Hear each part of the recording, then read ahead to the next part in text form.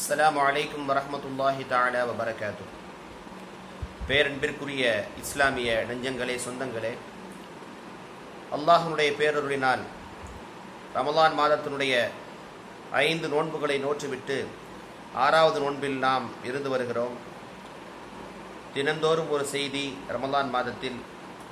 இன்று நாம் பார்க்கவிருக்கின்ற செய்தி கிராஅத்துல் குர்ஆன். குர்ஆன் ஓதுவதை பற்றி ரமலான் மாதத்தில் குர்ஆன் ஓதுதலால் நமக்கு ஏற்படக்கூடிய நன்மைகள் என்ன என்பதை பற்றி இன்ஷா அல்லாஹ் இந்த காணொலியில் சில விஷயங்களை காணலாம் இன்ஷா அல்லாஹ். பேரன்பிற்குரியவர்களே இந்த மாதம் சிறப்பான ஒரு மாதமாகவும் அல்லாஹனுடைய பார்வையில் கண்ணியத்திற்குரிய ஒரு மாதமாகவும் இருப்பதற்கு என்ன காரணம் என்பதை நாம் அறிவோம். ஆம். இந்த புனிதமான ரமலான் மாதத்தில்தான் இந்த முழு உலக மக்களுக்கும் நேரான வழி காட்ட வந்த அருமறையான் அல் குர்ஆன் உதித்த மாதம் இந்த மாதம்தான். அல்லாஹின் புறத்திலிருந்து அன்னலம் பெருமானார் செல்லல்லாஹு அலைஹி வஸல்லம் அவர்களுக்கு வஹி அருளப்பட்ட முதல் வஹி அருளப்பட்ட மாதம் இந்த புனித ரமலான் மாதமாக இருக்கிறது. இந்த புனித ரமலான் மாதத்தில் இந்த திருமறையாம் அல் குர்ஆன் இறங்கிய காரணத்தினால் அல்லாஹ் ஜல்ல ஷானஹு இந்த மாதம் முழுக்க அல்லாஹ் தன் சிறப்பால் வியாபித்திருக்கிறான். இந்த மாதத்தை கண்ணியப்படுத்தும் முகமாக திருமறையை கண்ணியப்படுத்தும் முகமாக அல்லாஹ் இந்த மாதத்தை சிறப்புப்படுத்தி இருக்கிறான் என்பது நாம் அறிந்த செய்தியாகும். இந்த மாதம் சிறப்பிற்குரிய மாதம் நன்மைகளை அதிகம் அதிகம் செய்யக்கூடிய மாதம் என்பதை நாம் அறிந்திருக்கிறோம். அதிலும் குறிப்பாக இந்த குர்ஆன் அருளப்பெற்ற இந்த மாதத்தில் இந்த குர்ஆனை ஓதுவதால் நமக்கு ஏற்படக்கூடிய நன்மைகள் என்ன? அல்லாஹ் எந்த அளவுக்கு வெகுமதியை வைத்திருக்கிறான் என்பதைத்தான் இன்ஷா அல்லாஹ் இந்த காணொலியில் நான் காணவிருக்கிறோம்.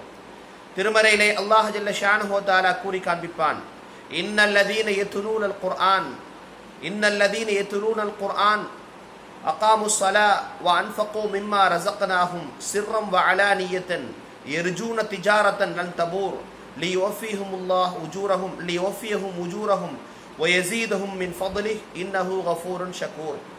நிச்சயமாக சிலர் திருக்குர்ஆனை ஓதுகின்ற சிலர் மட்டுமல்லாமல் தொழுகையை நிலைநாட்டக்கூடிய சிலர் மேலும் தனக்கு அளிக்கப்பட்ட பொருளாதாரத்திலிருந்து செலவு செய்யக்கூடிய சிலர் அந்த பொருளாதாரத்தை ரகசியமாகவும் பரகசியமாகவும் செலவு செய்யக்கூடிய சிலர்களுக்கு அல்லாஹ் வழங்கக்கூடிய அருள் என்னவென்று சொன்னால் எர்ஜூன அவர்கள் எதிர்பார்க்கிறார்கள் திஜாரத்தன் லன் தபூர் நஷ்டமடையாத ஒரு வியாபாரத்தை அவர்கள் எதிர்பார்க்கிறார்கள். எனவே அந்த வியாபாரத்தை ஏற்றுக்கொண்டு அல்லாஹ் என்ன கூலியை தருவான் என்றால் லியோஃபிஹும் உஜூரஹும் அல்லாஹ் அவர்களின் கூலி அல்லாஹ் அதிகரித்துக் கொண்டே இருப்பான். ஒயசீதுகும் மின் ஃபதுலிஹ் அல்லாஹ் அவர்களின் சிறப்பை அல்லாஹ் அதிகரித்துக் கொண்டே இருப்பான். இன்னஹு கஃபூருன் ஷகூர் நிச்சயமாக அல்லாஹ் பாவங்களை மன்னிப்பாளனாக இருக்கிறான். நன்றி பாராட்டக்கூடியதாக இருக்கின்றான் என்று அல்லாஹ் குறிப்பிட்டு காட்டுகிறான். இந்த வசனத்திலே சொல்லப்பட்ட மூன்று விஷயங்கள். ஒன்றாவது திருமறையை ஓதுவது. இரண்டாவது தொழுகையை நிலைநாட்டுவது. மூன்றாவது தனக்கு வழங்கப்பட்ட பொருளிலிருந்து தான தர்மங்களை மேற்கொள்வது. இந்த மூன்று விஷயங்களையும் யார் செய்கிறார்களோ அவர்கள் அல்லாஹ்விடம் ஒரு வியாபாரம் செய்திருக்கிறார்கள். அந்த வியாபாரம் நஷ்டமடையாத வியாபாரம். அல்லாஹ்விடத்திலே உயர்தரமான ஒரு லாபத்தை பெறக்கூடிய ஒரு வியாபாரம் செய்கிறார்கள். அந்த வியாபாரத்தினுடைய பலனாக அல்லாஹ் அவர்களுக்கு அளிக்க இருக்கின்ற லாபம் என்னவென்று சொன்னால் அவர்களுக்குடைய கூலியை அல்லாஹு தாலா மறுமையிலே உயர்த்தி காட்டிக் கொண்டே இருப்பான். அவர்களுடைய அந்தஸ்து மறுமை நாளில் உயர்ந்து கொண்டே இருக்கும். அல்லாஹ் நிச்சயமாக தன்னுடைய குர்ஆனை ஓதுகின்ற மக்களை அல்லாஹு தாலா நன்றி பாராட்டக்கூடியவனாக இருக்கிறான் என்ற இந்த வசனம் சொல்லக்கூடிய செய்தி என்னவென்று சொன்னால் திருமறை அல் குர்ஆன் என்பது அல்லாஹனுடைய வேதம். இந்த வேதத்தை ஓதக்கூடியவர்களை அல்லாஹு தாலா தன்னளவிலே சேர்த்துக் கொள்கிறான். அவர்களுடைய நன்மையை அல் அவருடைய சிறப்பை அல்லாஹு தாலா அதிகரித்துக் கொண்டே போகிறான் என்பதை நாம் அறிந்து கொள்ள வேண்டும். அன்னலம் பெருமானார் கண்மணி நாயகம் செல்லல்லாஹு அலைஹி செல்லம் அவர்களுடைய வாழ்க்கையில் நாம் திருமறையும்.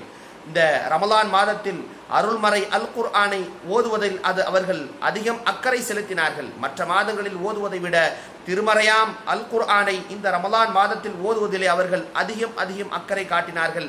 எந்த அளவுக்கு என்று சொன்னால் ஹதீஸிலே பார்க்க முடிகிறது அவர்கள் நின்ற நிலையிலும் உட்கார்ந்த நிலையிலும் ஏன் படுத்த நிலையிலும் கூட திருமறையாம் அல் குர்ஆனை ஓதிக்கொண்டே இருந்தார்கள் என்ற செய்தி நமக்கு காண கிடைக்கிறது. ஆக திருமறை என்பது ஓதப்படக்கூடிய ஒன்று. குர்ஆன் என்று சொன்னா சொன்னாலே அதனுடைய பொருள் அல் மக்ரு ஓதப்படக்கூடியது. அது ஓதிக்கொண்டே இருக்கப்படக்கூடியது. குர்ஆன் என்ற பதத்திற்கு அர்த்தமே அதை நாம் திரும்ப திரும்ப ஓதிக்கொண்டே இருக்க வேண்டும். குர்ஆன் என்று சொன்னாலே ஓதப்படக்கூடியது. ஓதுவதற்கு உகந்தது. ஓதிக்கொண்டே இருக்க வேண்டியது என்பது பொருள். ஆக குர்ஆனை நாம் வீட்டிலே ஒரு மேலே ஒரு துணியிலே சுற்றி மேலே வைத்து விடாமல் அது ஓதப்படக்கூடியது. அது வீட்டிலே ஒரு ஓரமாக துணியால் சுத்தி வைக்கப்படக்கூடிய ஒரு பொருள் அல்ல.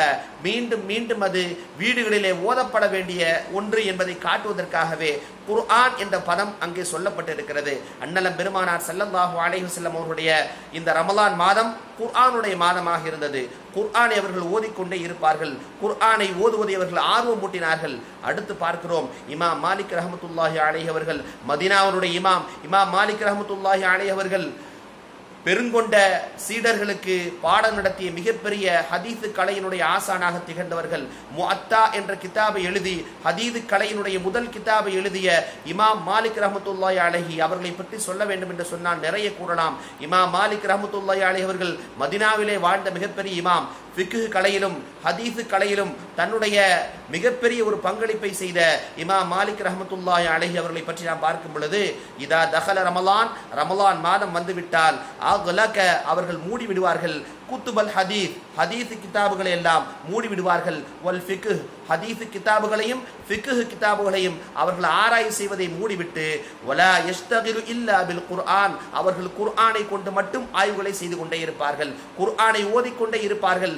காலமெல்லாம் ரமலான் மாதம் அல்லாத மற்ற மாதங்கள் எல்லாம் ஹதீஸ் கிதாபுகளையும் ஃபிக்கு கிதாபுகளையும் அதிகம் அதிகம் ஆர்வம் செலுத்திக் கொண்டிருந்த இமாம் மாலிக் ரஹமத்துல்லாய் அலி அவர்கள் ரமலான் மாதம் வந்துவிட்டால் இல்மினுடைய கேந்திரமாக விளங்கக்கூடிய ஹதீஸ் கிதாபுகளையும் ஃபிக்கு கிதாபுகளையும் சற்றே தள்ளி வைத்துவிட்டு குர்ஆனை அதிகம் அதிகம் ஓதிக்கொண்டே இருப்பார்கள். குர்ஆனுக்கு அவர்கள் முக்கியத்துவம் கொடுத்து விடுவார்கள். குர்ஆனோடு தன் வாழ்க்கையை ஐக்கியப்படுத்திக் கொள்வார்கள் என்ற செய்தியை நாம் பார்க்க முடிகிறது. இமாம் அலி ரஹமத்துல்லாஹி அலைஹி அவர்கள் குர்ஆனோடு மிகப்பெரிய தொடர்பை கொண்டவர்கள். இமாம் ஷாஃபிஇ ரஹமத்துல்லாஹி அலைவர்கள் குரான் குர்ஆன் ரமலானுடைய மாதம் வந்துவிட்டால் அந்த ரமலானுடைய மாதத்தில் மட்டும் அறுபது குர்ஆனை ஓதக்கூடிய ஒரு வழக்கத்தை கொண்டிருந்தார்கள். யோசித்து பாருங்கள் அறுபது குர்ஆன் என்று சொன்னால் ஒரு நாளைக்கு இரண்டு குர்ஆனை ஓதி முடிக்கக்கூடிய அளவுக்கு அவருடைய வாழ்க்கை குர்ஆனுடைய ஐக்கியப்பட்டிருந்தது. எனவே இந்த ரமலான் மாதத்தில் நாம் எவ்வளவு இபாதத் செய்கிறோம்? தஹஜத் தொழுகிறோம் துவாக்களில் ஈடுபடுகிறோம் தஸ்பீகில் ஈடுபடுகிறோம். அப்படிப்பட்ட எல்லா இபாதத்துகளுக்கும் தடையானது இந்த குர்ஆனை ஓதுவது. ஏனென்றால் இந்த மாதத்திலே தான் அருள்மறை அல் குர்ஆன் வந்து இறங்கிய மாதம் இந்த மாதம். எனவே இந்த மாதத்திலே பிற மாதங்களில் நாம் குர்ஆனை ஓதுவதை விட அதிகம் அதிகமாக குர்ஆனை நாம் ஓதிக்கொண்டே இருக்க வேண்டும். ஏனென்று சொன்னால் அன்னலம் பெருமானார் ஸல்லல்லாஹு அலைஹி சொல்லி சொல்வார்கள் இக்ராவு அல் குர்ஆன் குர்ஆனை ஓதிக்கொண்டே இருங்கள். ஃபைன்னஹு யஅதி யௌமல் கியாமா. அது மறுமை நாளிலே வரும். ஷஃபீஅன் லி அஸ்ஹாபிஹி அந்த குர்ஆனை ஓதிய அந்த குர்ஆனை உடையவருக்கு குர்ஆனை ஓதியருக்கு ஓதியவருக்கு சிபாரிசு செய்யக்கூடியதாக மறுமை நாளிலே வந்துவிடும் என்று சொன்னார்கள். உலகத்திலே பார்க்கிறோம் ஒரு இடத்திலே வேலைக்கு செல்கிறோம் அல்லது ஒரு பெரிய நிறுவனத்திலே நம்முடைய வேலை உறுதிப்படுத்தப்படுமா என்ற எண்ணத்திலே செல்லும் பொழுது அங்கே நமக்கு யா- யாரேனும் சிபாரிசு செய்யக்கூடியவர்கள் இருந்தால் அந்த வேலை நமக்கு இலகுவாகிவிடும். அந்த வேலை நமக்கு லேசாகிவிடும். நம்முடைய இலக்கை நம்முடைய லட்சியத்தை நாம் விளைவில் எட்டி விடலாம் என்ற எண்ணம் எல்லாருக்கும் இருக்கிறது. அப்போ சிபாரிசு கடிதம் ஏற்க வேண்டும். பெரிய பெரிய கம்பெனியிலே கூட பெரிய பெரிய நிறுவனங்களிலே கூட நாம் அந்த வேலை வாய்ப்பு அந்த விண்ணப்பத்தை நாம் தயார் செய்கின்ற பொழுது ரெஃபரன்ஸ் என்று போடுவார்கள். யாரின் மூலமாக நீங்கள் வருகிறீர்கள்? என்ற அந்த சிபாரிசை அங்கே மேற்கொள்ள வேண்டிய ஒரு நிலை இருக்கும். அந்த ரெஃபரன்ஸிலே நாம் குறிப்பிட்ட ஒரு நபரை போட்டோம் என்று சொன்னால் அந்த ரெஸ்யூமுக்கு வேல்யூ கூட அதன் மூலமாக அவருக்கு வேலை கிடைப்பதற்கான வாய்ப்புகள் அதிகம் என்பதை உலகிலே நாம் உணர்கிறோம். அவ்வாறுதான் மறுமை நாளிலே எந்த மனிதரும் எந்த கண்ணாலும் கண்டிராத எந்த காதாலும் கேட்டிராத எந்த இதயத்தாலும் சிந்திக்க முடியாத ஒரு சொர்க்க லோகத்திற்கு நாம் செல்ல வேண்டும் என்று சொன்னால் அங்கே ஒரு சிபாரிசு தேவைப்படுகிறது. நீங்கள் நினைக்கக்கூடிய சிபாரிசு அல்ல அந்த சிபாரிசு குர்ஆன் என்னும் சிபாரித்து அந்த சிபாரிசு குர்ஆன் அல்லாவிடத்திலே வென்று அல்லாவிடத்திலே மன்றாடும். இறைவா என்னுடைய இந்த அடியான் குர்ஆனை ஓதினான் என்னை ஓதிக்கொண்டிருந்தான் என்னோடு அவன் தொடர்பில் இருந்தான். எனவே இவனை சொர்க்கத்திலே அழைத்து சென்று விடு என்று அந்த குர்ஆன் நாளை மறுமை நாளிலே அவனை சிபாரிசு செய்து சொர்க்கத்துக்கு செல்லக்கூடிய அவனுக்காக மன்றாடக்கூடிய விஷயமாக குர்ஆன் மாறும் என்பதை நாம் அதீதிலே பார்க்கிறோம். இந்த ஒரு செய்தியை பார்க்கிறோம். மிக அருமையான செய்தி. ஒரு மனிதர் கபூரிலே அடக்கம் செய்யப்படுகிறார். கபூரிலே அடக்கம் செய்யப்பட்ட பொழுது அவரிடத்திலே கேள்வி கணக்கு கேட்பதற்காக மலக்குமார்கள் வருகிறார்கள். அவருடைய நல்லது கெட்டது கேள்வி கணக்கை கேட்பதற்காக வழக்கமார்கள் வருகின்ற சமயத்தில் அங்கே ஒரு அழகான ஒரு மனிதர் தோன்றுவார். அழகான ஒரு மனிதர் தோன்றி அவர் என்ன செய்வார் தெரியுமா? அந்த மலக்குமார்கள் கேட்கக்கூடிய கேள்விகளுக்கெல்லாம் இந்த மனிதர் சார்பாக அதாவது அடக்கம் செய்யப்பட்டிருக்கின்ற இந்த மனிதர் சார்பாக அவர் எல்லா கேள்விகளுக்கான பதிலையும் கூறிவிடுகிறார். அவரை பேச விடாமல் இவரே பேச பேசிவிடுகிறார். எல்லாத்தையும் இவரே பேசிடுறார் இதை பார்த்து கொண்டிருக்கிறார் இந்த அடக்கம் செய்யப்பட்ட இந்த கபருக்கு வந்திருக்கக்கூடிய இந்த மனிதர். எல்லாம் முடிந்து விடுகிறது. முடிந்து விட்ட பின்பு அந்த மனிதரை கேட்கிறார் நீங்கள் யார்? நீங்கள் ஏன் எனக்காக இவ்வளவு பெரிய ஒரு சிரத்தை எடுத்துக்கொண்டு எனக்காக எல்லாத்தையும் நீங்க ஹெல்ப் பண்றீங்களே? இவ்வளவு பெரிய வேலை செய்றீங்களே? உங்களை நான் உலகத்தில் பார்த்தது கூட கிடையாது. நீங்கள் யார் என்று கேட்பார். அப்பொழுது அந்த மனிதர் கூறுவார் அந்த அழகான தோட்டத்தில் இருக்கக்கூடிய அந்த மனிதர் கூறுவார் என்னை நீங்கள் பார்த்தது கிடையாதா? நான் யார் என்று உங்களுக்கு தெரியவில்லையா? நான் யார் தெரியுமா? நான் தான். நீங்கள் ஓதிய குரான் இந்த உலகத்திலே இருக்கின்ற சமசை சமயத்திலே என் மீது ஆர்வம் கொண்டு என் மீது ஆவல் கொண்டு என் மீது பாசம் கொண்டு அனுதினமும் என்னை ஓதினீர்களே அப்படிப்பட்ட குர்ஆன் தான் நான். இந்த குர்ஆன் ஆகிய நான் உங்களை சொர்க்கத்திற்குள் அனுப்பாமல் நான் என்னுடைய பணியை முடிக்க மாட்டேன் என்று அவருக்காக பரிந்து பேசிக் கொண்டிருக்கிறான். பாருங்கள் எவ்வளவு அழகான செய்தி. நாம் குர்ஆனை ஓதினோம் என்று சொன்னால் இந்த உலகத்தை நாம் இந்த உலகத்தை கடந்த பின்பு நமக்கு மிகப்பெரிய ஒரு வழித்தோழனாக வந்துவிடும். இந்த உலகத்தினுடைய கடைசி மூச்சை நாம் இழுத்து விட்ட பின்பு மரணத்தினுடைய வாயிலை தொட்ட பின்பு மரணத்திற்குள் நாம் இறங்கி விட்ட பின்பு நமக்கு மிகப்பெரிய ஒரு வழித்தோழனாக நம்மை சொர்க்கத்திற்கு அழைத்து செல்லக்கூடிய மிகப்பெரிய ஒரு தோழனாக நமக்காக சிபாரிசு செய்யக்கூடிய ஒரு மன்றாடக்கூடிய ஒரு வக்கீலாக இந்த குர்ஆன் வந்து சேரும் என்பதை நாம் அறிய முடிகிறோம். எனவே இந்த குர்ஆன் என்பது நம் வாழ்க்கையில் அதிகம் அதிகம் ஓத வேண்டியது. குறிப்பாக ரமலான் மாதத்தில் குர்ஆனோடு நாம் தொடர்பை ஏற்படுத்திக் கொள்ள வேண்டும். குர்ஆனோடு அதிகம் அதிகம் தொடர்புகளை ஏற்படுத்திக் கொள்ள வேண்டும். இந்த ஒரு செய்தியை பார்க்கிறோம். இப்னு மசூத் ரதியுல்லாஹு ஒரு அறிவிக்கக்கூடிய ஒரு செய்தி திருமிதி ஹதீஃபி கிதாபிலே பதிவு செய்யப்பட்டிருக்கிறது. மன் கர ஹருஃபம் மின் கிதாபில்லா. அல்லாஹனுடைய வேதத்திலிருந்து யார் ஒரே ஒரு எழுத்தை ஓதுவார்களோ ஃபலஹு பிஹி ஹசனத்துன். அவருக்கு அது ஒரு நன்மையாக மாறும். வல் ஹசனத்து பிஅஷரி அம்சாலிஹா. அந்த ஒன்றுக்கு பத்தை அல்லாஹ் கொடுக்கக்கூடிய வாய்ப்பை வைத்திருக்கிறான் வழக்கத்தை வைத்திருக்கிறான். நாம் ஒரு நன்மையை செய்தால் அந்த நன்மைக்கு அல்லாஹு தாலா தரக்கூடிய பிரதி உபகாரம் என்று சொன்னால் ஒன்றுக்கு பத்து. அல்லாஹு தாலா ஒரு நன்மைக்கு பத்து நன்மையாக கொடுக்கிறான். மேலும் சொன்னார்கள் கண்மணி நாயகம் ஸல்லல்லாஹு அலிசம் அவர்கள் லா அகூலு நான் கூற மாட்டேன் அலிஃப் லாம் மீம் அலிஃப் லாம் மீம் என்பதை ஹருஃபுன் ஒரு எழுத்து என்று கூற மாட்டேன் அலிஃபுன் ஹருஃபுன் அலிஃப் என்பது ஒரு எழுத்து லாமுன் ஹருஃபுன் லாம் என்பது ஒரு எழுத்து வ மீமுன் ஹருஃபுன் மீம் என்பது ஒரு எழுத்து. பாருங்கள் அலிஃப் என்று ஓதினால் பத்து நன்மை. லாம் என்று ஓதினால் பத்து நன்மை மீம் என்று ஓதினால் பத்து நன்மை ஆக அலிஃப் லாம் மீம் குர்ஆனை ஓதக்கூடிய எண்ணத்தோடு ஒலு செய்துவிட்டு ஒரு மனிதர் அலிஃப் லாம் மீம் என்று ஓதிவிட்டால் அவருக்கு முப்பது நன்மைகள் கிடைத்து விடுகிறது. அல்லாஹு தாலா பேர் அன்புடையவன். அல்லாஹு தாலா கணக்கில்லாமல் வாரி கொட்டி கொடுக்கக்கூடியவன். ஒரு கணக்கிற்காக சொல்லுகிறோம். முப்பது என்பது ஒரு கணக்கிற்காக சொல்லப்பட வேண்டியது. அல்லாஹ் நாடினால் அந்த முப்பதை முப்பது ஆயிரமாக கூட அல்லாஹு தாலா கொடுத்து விடுவான். எனவே முப்பது நன்மைகள் அலிஃப் லா மீம் என்று ஓதினால் கிடைக்கிறது. யோசித்து பாருங்கள். குர்ஆனை நாம் ஓத ஓத ஓத ஓத எவ்வளவு குர்ஆனை ஓதிக்கொண்டே இருக்கிறோமோ அவ்வளவு நன்மை கிடைத்து விடுகிறது. குர்ஆனிலே ஒரு எழுத்து வந்து விட்டால் அந்த வார்த்தையினுடைய மகத்துவம் கூட. அல்லாஹு தாலா குரான்ல சில விஷயங்கள்லாம் சொல்லுவான். எதை சாப்பிடலாம் எதை சாப்பிடக்கூடாது?